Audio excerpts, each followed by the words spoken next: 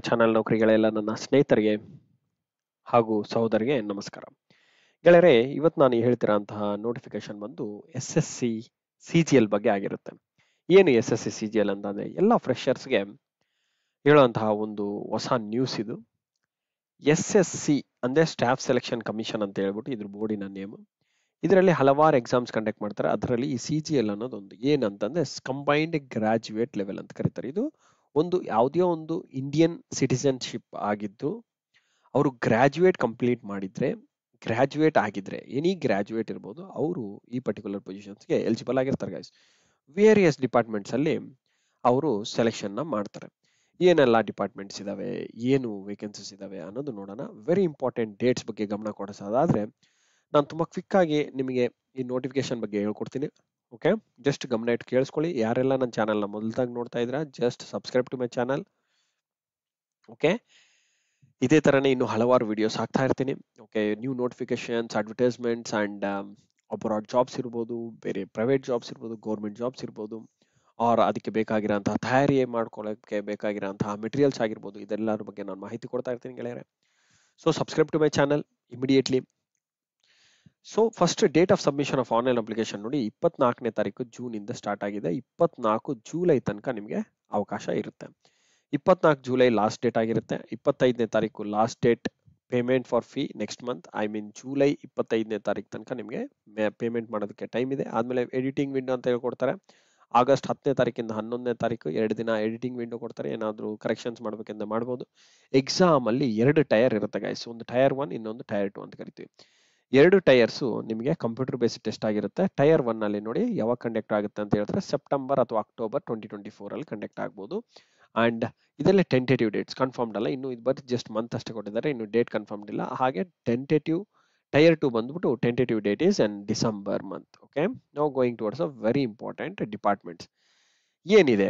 ನೋಡಿ pay level seven level seven forty four thousand nine hundred basic ಇಂದ start ಆಗುತ್ತೆ. ಇದು ಯಾವ ಯಾವ ಡಿಪಾರ್ಟ್ಮೆಂಟ್ ಅಲ್ಲಿ ಇದಾವೆ ಅನ್ನೋದು ಕೊಟ್ಟಿದ್ದಾರೆ ವೇಕೆನ್ಸೀಸ್ ಓಕೆ ನೋಡಿ ಅಸಿಸ್ಟೆಂಟ್ ಸೆಕ್ಷನ್ ಆಫೀಸರ್ ಅಂತ ಹೇಳ್ಬಿಟ್ಟು ನಿಮಗೆ ಹಲವಾರು ಹುದ್ದೆಗಳಿದಾವೆ. ಇದು ಯಾವ ಯಾವ ಡಿಪಾರ್ಟ್ಮೆಂಟ್ ಅಂತ ಇಲ್ಲಿ ಕೊಟ್ಟಿದ್ದಾರೆ ನೋಡಿ. ಇದು ಗ್ರೂಪ್ ಬಿ ಪೋಸ್ಟ್ ಆಗಿರುತ್ತೆ ಗೈಸ್ ನೆನ್ಪಿಟ್ಕೊಳ್ಳಿ. This is a group B post ಇದು ಒಂದು ತುಂಬಾ ವೆರಿ ಗುಡ್ ಗೆಜೆಟೆ ಪೋಸ್ಟ್ ಅಂತ ಕರಿಬಹುದು ಲೈಕ್ ಗೆಜೆಟೆ ಪೋಸ್ಟ್ ತರನೇ ಇರುತ್ತೆ. ಬಟ್ ಸರ್ವಿಸ್ ನೋಡಿದ್ರೆ ಅಸಿಸ್ಟೆಂಟ್ ಸೆಕ್ಷನ್ ಆಫೀಸರ್ ಅಂತ ನಿಮ್ಮ ಪೋಸ್ಟಿನ ಹೆಸರಾಗಿರುತ್ತೆ. ಎ ಎಸ್ ಅಂತ ಕರೀತಾರೆ ಇವ್ರನ್ನ. ಏನು ಎ ಎಸ್ ಅಂತ ಕರೀತಾರೆ.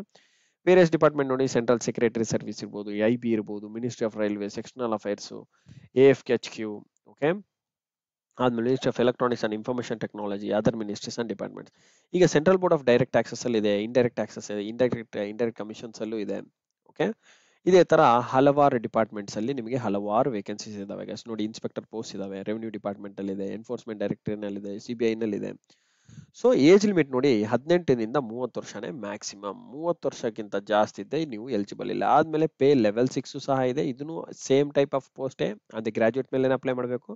ನೀವು ಗ್ರಾಜುಯೇಟ್ ಮೇಲೆ ಇದರಲ್ಲಿ ಎಷ್ಟೋ ವೇಕೆನ್ಸೀಸ್ಗೆ ಎಲಿಜಿಬಲ್ ಇರ್ತಾರೆ ಗೈಸ್ ಒಂದ್ಸಲ ಅಪ್ಲೈ ಮಾಡಿದ್ರೆ ಎಲ್ಲದಕ್ಕೂ ಡಿಫ್ರೆಂಟ್ ಆಗಿ ನೀವು ಅಪ್ಲೈ ಮಾಡ್ಕೋಬಹುದು ತೊಂದರೆ ಇಲ್ಲ. ಏಜ್ ಲಿಮಿಟ್ ಏನಂದ್ರೆ ಹದಿನೆಂಟರಿಂದ ಮೂವತ್ತು ತನಕ ಇರಬೇಕಷ್ಟೇ. ನೋಡಿ ಇವೆಲ್ಲನೂ ಗ್ರೂಪ್ ಬಿ ಪೋಸ್ಟ್ ಆಗಿರುತ್ತೆ ಗೈಸ್ ವೇರಿಯಸ್ ಡಿಪಾರ್ಟ್ಮೆಂಟ್ ಜಸ್ಟ್ ಒಂದ್ಸಲ ಗೋತ್ರು ಮಾಡ್ಕೊಳ್ಳಿ, ಏನೆಲ್ಲ ಡಿಪಾರ್ಟ್ಮೆಂಟ್ಸ್ ಇದಾವಂತ. ಅದೇ ತರ ಇವಾಗ ಗ್ರೂಪ್ ಸಿ ಪೋಸ್ಟ್ ಸಹ ಇದೆ. ಲೆವೆಲ್ ಫೈವ್ ಇರುತ್ತೆ. ಇದು ಆಡಿಟರ್ ಅಂತ ಕರೀತಾರೆ ಅಂದ್ರೆ accountant various C A G C and A ಜಿನಲ್ಲಿದೆ C D G ಎನಲ್ಲಿದೆ ಓಕೆ ಇದಕ್ಕೆ ನೋಡಿ ಏಜ್ ಲಿಮಿಟ್ ಕಡಿಮೆ ಕೊಟ್ಟಿದ್ದಾರೆ. Eighteen to twenty seven years age ಅವ್ರು ಮಾತ್ರನೇ ಅಪ್ಲೈ ಮಾಡಬೇಕಾಗುತ್ತೆ. ಆದ ನಂತರ ಇನ್ನು ಲೆವೆಲ್ ಫೋರ್ ಇರುವಂತಹ ಪೊಸಿಷನ್ಸ್ ನೋಡ್ಕೊಂಡ್ರೆ, ಇವು ಪೋಸ್ಟಲ್ ಅಸಿಸ್ಟೆಂಟು ಮತ್ತೆ senior secretary assistant F D S D A ಅಂತ ಏನು ಕರಿತೀವಲ್ಲ ಎಸ್ ಡಿ ಎ ಅನ್ನೋ ಲೆವೆಲ್ ಪೋಸ್ಟ್ ಅಲ್ಲ, ಇದರಲ್ಲಿ ಬರುತ್ತೆ ಟ್ಯಾಕ್ಸ್ ಅಸಿಸ್ಟೆಂಟು ಸಬ್ ಇನ್ಸ್ ಸಬ್ ಇನ್ಸ್ಪೆಕ್ಟರ್ ಸೊ ಎಲ್ಲ ನೋಡಿ ಹದಿನೆಂಟರಿಂದ ಇಪ್ಪತ್ತೇಳು ವರ್ಷ.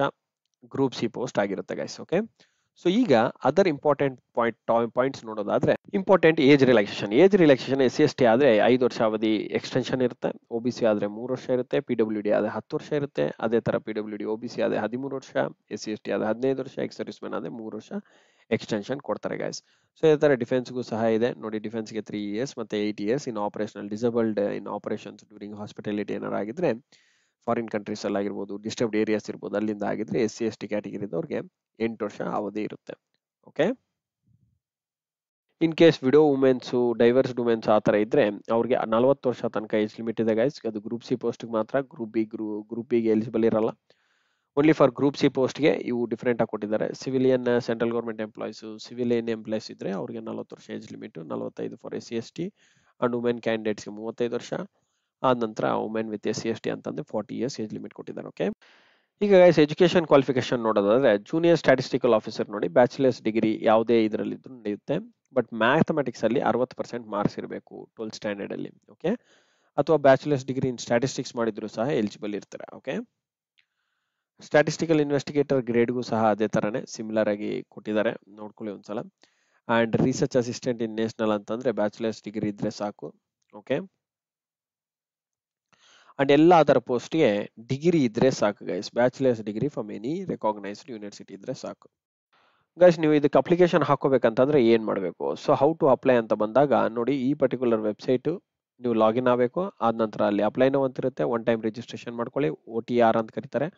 ಒನ್ ಟೈಮ್ ರಿಜಿಸ್ಟ್ರೇಷನ್ ಆಗಿದೆ. ಜಸ್ಟ್ ಅಪ್ಲಿಕೇಶನ್ ಸಬ್ಮಿಟ್ ಮಾಡ್ಕೊಂಡು ಹೋದ್ರೆ ಆಯ್ತು. ಯಾವ್ದಾದಕ್ಕೆ ಬೇಕಾಗುತ್ತೆ ಅದಕ್ಕೆಲ್ಲ ಪ್ರಿಯಾರಿಟಿ ಕೊಡಿ. ಆದ ನಂತರ ಸಬ್ಮಿಷನ್ ಕೊಡಿ ಓಕೆ ಸೊ ಅದರ ಇಂಪಾರ್ಟೆಂಟ್ ಬಂದು ಅಪ್ಲಿಕೇಶನ್ ಫೀ ಅಪ್ಲಿಕೇಶನ್ ಫೀ ಎಷ್ಟಿರುತ್ತೆ? ನೂರು ರೂಪಾಯಿ ಮಾತ್ರನೇ ಇರುತ್ತೆ ಗೈಸ್ ಇನ್ನು ವುಮೆನ್ ಕ್ಯಾಂಡಿಡೇಟ್ಸ್ ಇರ್ಬೋದು ಎ ಸಿ ಎಸ್ ಇರ್ಬೋದು, ಇವರು ಫೀನ ಪೇ ಮಾಡೋದು ಬೇಕಾಗಿಲ್ಲ exempted from the payment of fees okay fee ಬಂದ್ಬಿಟ್ಟು ಆನ್ಲೈನ್ ಅಲ್ಲಿ ಬಿಮ್ ಯು ಪಿ ಐನಿಂದ ನಿಂದ ಪೇ ಮಾಡ್ಬೋದು ನೆಟ್ ಬ್ಯಾಂಕಿಂಗ್ ಇಂದ ಪೇ ಮಾಡಬಹುದು but online fee payment date ನೋಡಿ ಕೊನೆಯ ದಿನಾಂಕ ಜುಲೈ ಟ್ವೆಂಟಿ ಫಿಫ್ತ್ ಆಗಿರುತ್ತೆ ಓಕೆ ನಮ್ಮ ಸೆಂಟರ್ಸ್ ಬಂದ್ಬಿಟ್ಟು ನಮ್ಮ ಕರ್ನಾಟಕ ಕೈಕ್ಯಾರ್ ರೀಜನ್ ಅಲ್ಲಿ ಆದರೆ ಬೆಳಗಾವಿ, ಬೆಂಗಳೂರು, ಹುಬ್ಬಳ್ಳಿ, ಕಲಬುರಗಿ ಓಕೆ ಮಂಗಳೂರು, ಮೈಸೂರು, ಶಿವಮೊಗ್ಗ, ಉಡುಪಿ, ಎರ್ನಾಕುಲಂ ಕೊಳ್ಳಂ ಸೊ ಇಲ್ಲೆಲ್ಲ ಕೊಟ್ಟಿರ್ತಾರೆ ಗಾಯ್ಸ್ ಓಕೆ ನೀವು ನಿಮ್ಮ ನಿಮ್ಮ ಪ್ಲೇಸಸ್ ಚೂಸ್ ಮಾಡ್ಕೋಬೋದು, ತೊಂದರೆ ಇಲ್ಲ. ಸೊ ಕೇರಳ ಕೋಟೆಯಂ ಕೋಜಿಕೋಡೆ ತ್ರಿಸೂರು ತಿರುವನಂತಪುರಂ ಇಲ್ಲಿ ಬರುತ್ತೆ. ಇನ್ನು ಬೇರೆ ಬೇರೆ ವೇಕೆನ್ಸೀಸ್ ಇದಾವೆ. ಜಸ್ಟ್ ಒಂದ್ಸಲ ನೋಡ್ಕೊಳ್ಳಿ ಓಕೆ ನೀವು ಬೇರೆ ರೀಜನ್ಗೂ ಸಹ ಅಪ್ಲೈ ಮಾಡ್ಬೋದು, ತೊಂದರೆ ಇಲ್ಲ. ಬಟ್ ಕರ್ನಾಟಕದಲ್ಲಿ ಇದ್ರಿಂದ ಕರ್ನಾಟಕದಲ್ಲಿ ಅಪ್ಲೈ ಮಾಡ್ಕೊಂಡು ಇಲ್ಲೇ ಪೋಸ್ಟಿಂಗ್ ಇರುತ್ತೆ ನಿಮ್ದು ಓಕೆ ಹೇಳೋದು very very important that is scheme of examination ಹೇಗಿರುತ್ತೆ? ಎರಡು ಟೈರ್ ಇರುತ್ತೆ ಅಂತ ಹೇಳಿದೆ. ಕಂಪ್ಯೂಟರ್ ಬೇಸ್ ಎಕ್ಸಾಮ್ ಇರುತ್ತೆ, ಎರಡು ಟೈರ್ ಇರುತ್ತೆ.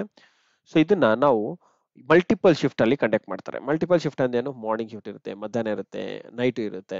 ಅಲ್ಲ ನಾಟ್ ಸಾರಿ ನೈಟ್ ಇರಲ್ಲ, ಬೆಳಿಗ್ಗೆ, ಮಧ್ಯಾಹ್ನ ಈವ್ನಿಂಗ್ ಸೊ ಈ ತರ ಮೂರ್ ಮೂರ್ ಶಿಫ್ಟ್ ಎವ್ರಿ ಡೇ ನಲ್ಲಿ ಕಂಡಕ್ಟ್ ಮಾಡ್ತಾರೆ ಗೈಸ್ ಹೀಗೆ ಪೇಪರ್ ಮಾತ್ರ ಎಲ್ಲರೂ ಒಂದೇ ಇರಲ್ಲ ಡಿಫಿಕಲ್ಟಿ ಲೆವೆಲ್ ಸೇಮ್ ಇರುತ್ತೆ. ಅದನ್ನ ಏನ್ ಮಾಡ್ತಾರೆ? ನಾರ್ಮಲೈಸೇಷನ್ ಅಂತ ಹೇಳ್ಬಿಟ್ಟು ಮೆಥಡ್ ಯೂಸ್ ಮಾಡ್ಕೊಂಡ್ಬಿಟ್ಟು ಎಲ್ಲಾರ್ಗೆ ಈಕ್ವಲೆಂಟ್ ಬರೋ ತರನೇ ನೋಡ್ಕೋತಾರೆ. ಓಕೆ ನಾರ್ಮಲೈಸೇಷನ್ ಮೆಥಡ್ ಅಂತ ನೋಡ್ತಾರೆ.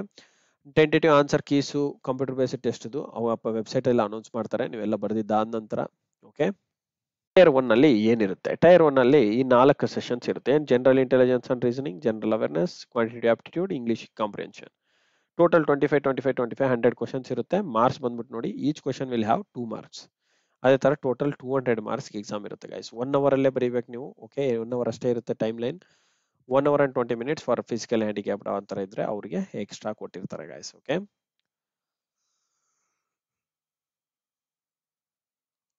ಟೈರ್ ಒನ್ ಬಂದು ನಿಮಗೆ ಬೋತ್ ಲ್ಯಾಂಗ್ವೇಜಸ್ ಇಂಗ್ಲೀಷ್ ಹಾಗೂ ಹಿಂದಿನಲ್ಲಿ ಅವೈಲೇಬಲ್ ಇರುತ್ತೆ. ಈಗ ಟೈರ್ ಟೂ ಬಂದಾಗ ನೋಡಿ ವೆರಿ ಇಂಪಾರ್ಟೆಂಟ್ ನೆಗೆಟಿವ್ ಮಾರ್ಕಿಂಗ್ ಇರುತ್ತೆ. ಅದು ಮಾತ್ರ ಮರಿಬೇಡಿ. ಅಂಡ್ ಟೈರ್ ಟೂ ನಲ್ಲಿ ನೋಡಿ, ಅದು ಟೈರ್ ಟೂ ನಲ್ಲಿ ನಿಮಗೆ ಪೇಪರ್ ಒನ್ ಹಾಗೂ ಪೇಪರ್ ಟು ಎರಡು ಬರುತ್ತೆ. ಓಕೆ ಪೇಪರ್ ಒನ್ ಹಾಗೂ ಪೇಪರ್ ಟು ಅಂತ ಬರುತ್ತೆ. ಪೇಪರ್ ಒನ್ ಸೆಷನ್ ಒನ್ ಅದರಲ್ಲಿ ಸಬ್ಜೆಕ್ಟ್ಸ್ ನೋಡಿ. ಸೆಷನ್ ಒನ್ನಲ್ಲಿ ಮಾಡ್ಯೂಲ್ ಒನ್ ಮ್ಯಾಥಮೆಟಿಕ್ ಅಬಿಲಿಟೀಸ್ ಇರುತ್ತೆ. Module two reasoning and general intelligence ಇರುತ್ತೆ. ಓಕೆ ನಂಬರ್ ಆಫ್ ಕ್ವಶನ್ಸ್ ನೋಡಿ. ಮೂವತ್ ಮೂವತ್ತು ಕ್ವಶನ್ಸ್ ಕೊಡ್ತಾರೆ. ಈಚ್ ಕ್ವಶನ್ಗೆ ಮೂರು ಮಾರ್ಕ್ಸ್ ಇರುತ್ತೆ. ಓಕೆ, ನೂರ ಎಂಬತ್ತು ಮಾರ್ಕ್ಸ್ ಇರುತ್ತೆ. One hour duration for each session ಒಂದೊಂದು ಸೆಷನ್ಗೆ ಎಷ್ಟು? ಒಂದು ಗಂಟೆ ಕೊಡ್ತಾರೆ. ಸೊ ಸೆಷನ್ ಒನ್ನಲ್ಲಿ ಸೆಕ್ಷನ್ ಒನ್ ಇರುತ್ತೆ. ಈಚ್ ಸೆಕ್ಷನ್ಗೆ ಎಷ್ಟು ಒಂದು ತಾಸು ಕೊಡ್ತಾರೆ? ಇಲ್ಲಿ ಸೆಕ್ಷನ್ ಒನ್ ಹಾಗೂ ಸೆಕ್ಷನ್ ಟೂ ಬೇರೆ ಬರುತ್ತೆ. ಸೆಕ್ಷನ್ ಟೂನಲ್ಲಿ ನಲ್ಲಿ ಇಂಗ್ಲಿಷ್ ಲ್ಯಾಂಗ್ವೇಜ್ ಅಂಡ್ ಕಾಂಪ್ರಿಹೆನ್ಷನ್ ಇರುತ್ತೆ ಹಾಗೂ ಜನರಲ್ ಅವೇರ್ನೆಸ್ ಇರುತ್ತೆ. ಇದರಲ್ಲೂ ಸಹ ಒನ್ ಅವರ್ ಇರುತ್ತೆ. ನಿಮಗೆ ಸೆವೆಂಟಿ ಕ್ವಶನ್ಸ್ ಇರುತ್ತೆ. Two ten two ten marks ಇರುತ್ತೆ. ಆದ ನಂತರ ಸೆಕ್ಷನ್ ತ್ರೀ ಕಂಪ್ಯೂಟರ್ ನಾಲೆಡ್ಜ್ ಇರುತ್ತೆ ಗೈಸ್ ಕಂಪ್ಯೂಟರ್ ನಾಲೆಡ್ಜ್ ಅಂತಂದ್ರೆ ಫಿಫ್ಟೀನ್ ಮಿನಿಟ್ಸ್ ಮಾತ್ರ ಕೊಡ್ತಾರೆ. ಟ್ವೆಂಟಿ ಕ್ವಶನ್ಸ್ ಇರುತ್ತೆ. Thirty each question three marks ಇರುತ್ತೆ ಗೈಸ್ ಓಕೆ ತ್ರೀ ಸೆಷನ್ಸ್ ಇರುತ್ತೆ. ಆ ನಂತರ ಸೆಕ್ಷನ್ ಟೂ ಬಂದಾಗ section two okay session two ಬಂದಾಗ ಅದರಲ್ಲಿ ಸೆಷನ್ ತ್ರೀ ಅಂತ ಕರಿತೀವಿ. Data entry speed test module ಅಂತ ಕರೀತಾರೆ. ಅದನ್ನ ಚೆಕ್ ಮಾಡ್ತಾರೆ okay one data entry task ಆದ್ಮೇಲೆ ಪೇಪರ್ ಟೂ ಅಂತ ಬಂದಾಗ ಸ್ಟ್ಯಾಟಿಸ್ಟಿಕ್ಸ್ ಇದು ಯಾವ ನಾವು ಫಸ್ಟ್ ಅಲ್ಲಿ ಜೂನಿಯರ್ ಸ್ಟ್ಯಾಟಿಸ್ಟಿಕಲ್ ಆಫೀಸರ್ ನೋಡಿದಲ್ಲ ಆ ಪೋಸ್ಟ್ ಇರೋರ್ಗೆ ಮಾತ್ರ ಈ ಸ್ಟ್ಯಾಟಿಸ್ಟಿಕಲ್ ಎಕ್ಸಾಮ್ ಇರುತ್ತೆ. ಇದೆಲ್ಲರಿಗೂ ಇರಲ್ಲ ಓಕೆ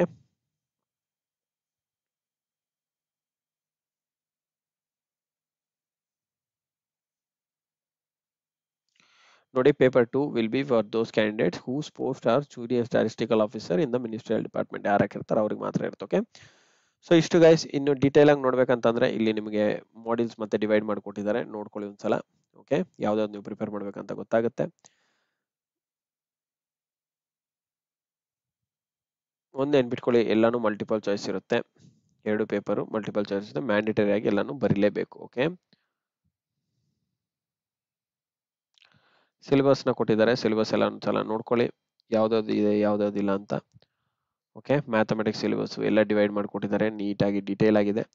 ಸೊ ಈ ಸಿಲೆಬಸ್ನ ಒಂದು ಪ್ರಿಪೇರ್ ಮಾಡಿದ್ರೆ ಸಾಕು ನೀವು. You can crack this exam very easily okay exam ಆಗಿದ್ಮೇಲೆ ನಿಮಗೆ ನೆಕ್ಸ್ಟ್ ಬಂದ್ಬಿಟ್ಟು ಡಾಕ್ಯುಮೆಂಟ್ ವೆರಿಫಿಕೇಶನ್ ಕರೀತಾರೆ ಆನಂತರ ಮೆಡಿಕಲ್ ಟೆಸ್ಟ್ ಇರುತ್ತೆ. ಮೆಡಿಕಲ್ ಟೆಸ್ಟ್ ಆದಮೇಲೆ ನಿಮಗೆ ಸೆಲೆಕ್ಷನ್ ಬಿಡ್ತಾರೆ guys okay so that's it about this vacancy guys ಇನ್ನು ಅದು ಬಿಟ್ಟರೆ ಇನ್ನ ಬೇರೆ ಇಂಪಾರ್ಟೆಂಟ್ ಪರ್ಟಿಕ್ಯುಲರ್ ಪಾಯಿಂಟ್ಸ್ ಏನಿದೆಯಲ್ಲ, ಇದು ಒಂದು ಮೋಡ್ ಆಫ್ ಸೆಲೆಕ್ಷನ್ ಅಂತ ಕೊಟ್ಟಿದ್ದಾರೆ. ಮಿನಿಮಮ್ ಕ್ವಾಲಿಫೈಯಿಂಗ್ ಮಾರ್ಕ್ಸ್ ಟೈರ್ ಒನ್ನಲ್ಲಿ ಎಷ್ಟು ತೆಗಿಬೇಕು ಅಂತ ಹೇಳ್ಬಿಟ್ಟು ನೀವು ನೋಡಿ ಎಷ್ಟು ಮಾರ್ಕ್ಸ್ ಮಿನಿಮಮ್ ತೆಗಿಬೇಕು. ಆ ಪರ್ಟಿಕ್ಯುಲರ್ ರಿಸರ್ವೇಷನ್ ಕ್ಯಾಟಗರಿ ನೋಡ್ಕೊಂಡು ಅವ್ರವ್ರು ಇಷ್ಟು ಇಷ್ಟು ತೆಗಿಲೇಬೇಕು ಓಕೆ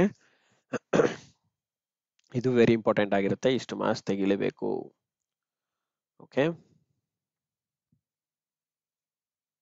ಸೊ ಇಷ್ಟೇ ಗೈಸ್ ಇದರಲ್ಲಿರೋ ಡೀಟೇಲ್ಸ್ ಇನ್ನು ಅದು ಬಿಟ್ಟರೆ ಇನ್ನೆಲ್ಲ ಸರ್ಟಿಫಿಕೇಟ್ಸ್ ಎಲ್ಲ ಕೊಟ್ಟಿದ್ದಾರೆ. ಇದ್ರ ಬಗ್ಗೆ ಏನು ತಲೆ ಬೇಕಾ ಇಲ್ಲ ನೀವು? ಅಪ್ಲಿಕೇಶನ್ ಪ್ರೊಸೀಜರ್ ಹೇಗಾಗಬೇಕು, ಏನಂತ ಕೊಟ್ಟಿದ್ದಾರೆ. So that's all fine so ಇನ್ನೂ ಏನಾದರೂ ಹೆಚ್ಚಿನ ಮಾಹಿತಿ ಬೇಕಿದ್ರೆ ಕಮೆಂಟ್ ಬಾಕ್ಸಲ್ಲಿ ಕಮೆಂಟ್ ಮಾಡಿ ಓಕೆ ಕಮೆಂಟ್ ಬಾಕ್ಸ್ ಕಮೆಂಟ್ ಸೆಷನಲ್ಲಿ ಕಮೆಂಟ್ ಮಾಡ್ಬೋದು.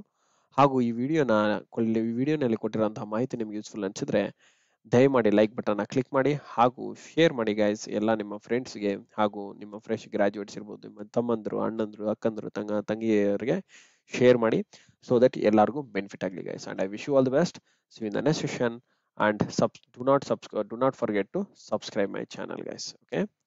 Thank you for watching my video and wish you all the best. Good day